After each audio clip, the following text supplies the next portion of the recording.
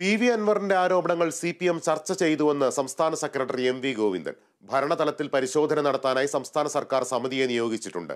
തെറ്റായ സമീപനം ആരുടെയെങ്കിലും ഭാഗത്തു നിന്നുണ്ടായെങ്കിൽ ശക്തമായ നടപടി സ്വീകരിക്കുമെന്നും എം വി ഗോവിന്ദൻ വ്യക്തമാക്കി. പി വി അൻവർ സംസ്ഥാന സർക്കാരിനും പാർട്ടിക്കും നൽകിയ പരാതി പരിശോധിച്ചതായാണ് സി പി എം സംസ്ഥാന സെക്രട്ടറി എം വി ഗോവിന്ദൻ പറഞ്ഞത്. പരാതി ലഭിച്ചയുടെ എസ് പി സുജിത് ദാസിനെ അന്വേഷണ റിപ്പോർട്ടിന്റെ അടിസ്ഥാനത്തിൽ സസ്പെൻഡ് ചെയ്തിട്ടുണ്ട്. ഭരണതലത്തിൽ പരിശോധന നടത്താനായി സംസ്ഥാന സർക്കാർ സമിതിയെ നിയോഗിച്ചിട്ടുണ്ടെന്നും എം വി ഗോവിന്ദൻ വ്യക്തമാക്കി. പാർട്ടി അന്വേഷിക്കേണ്ട കാര്യങ്ങളുണ്ടെങ്കിൽ അതുണ്ടാകുമെന്നും പറഞ്ഞു. പാർട്ടി തലത്തിൽ പരാതി ലഭിച്ചാൽ പരാതി പാർട്ടി തന്നെ പരിശോധിക്കും. ഇപ്പോഴും അമ്മാതിരിയുടെ ഒരു പരിവ പരാതി ഉണ്ടായിട്ടില്ല. പരിഹാസ്യമായ ഒരു കമ്മിറ്റിയല്ല നിലവിൽ വന്നത്. പോലീസിന്റെ ഏറ്റവും ഉന്നത നിലവാരത്തിലുള്ള തലത്തിലുള്ള ഡി ജി പി നേതൃത്വം നൽകുന്ന ഒരു സമിതിയാണ് അത്. ഈ അന്വേഷണ റിപ്പോർട്ട് ഒരു മാസത്തിനകം ലഭിക്കുമെന്നാണ് വ്യക്തമാവുന്നത്. വിഷയത്തിൽ പ്രതിപക്ഷം രാഷ്ട്രീയ നിലപാടാണ് സ്വീകരിക്കുന്നതെന്നും കുറ്റപ്പെടുത്തി.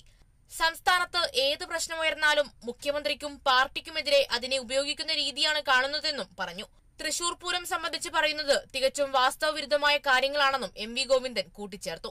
ഏതെങ്കിലും എ ഡി ജി പി അടിസ്ഥാനപ്പെടുത്തി ആർ എസ് എസും ബി ജെ പിയുമായി കമ്മ്യൂണിസ്റ്റ് പാർട്ടിക്ക് ലിങ്ക് ഉണ്ടാക്കേണ്ട കാര്യമില്ലെന്നും ബി ജെ പിയുമായി സി പി എം ധാരണയുണ്ടാക്കിയെന്നത് കള്ളക്കഥയാണെന്നും പറഞ്ഞു.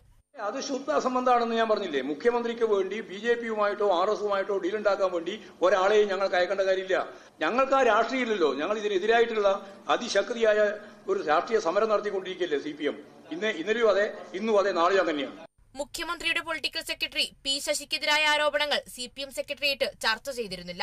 പി ശശിക്കെതിരായി രാഷ്ട്രീയമായി ആരോപണം ഉണ്ടാകുന്നില്ലെന്നും പരാതി രേഖാമൂലം ലഭിച്ചിട്ടില്ലെന്നുമാണ് സി പി എം നൽകുന്ന വിശദീകരണം.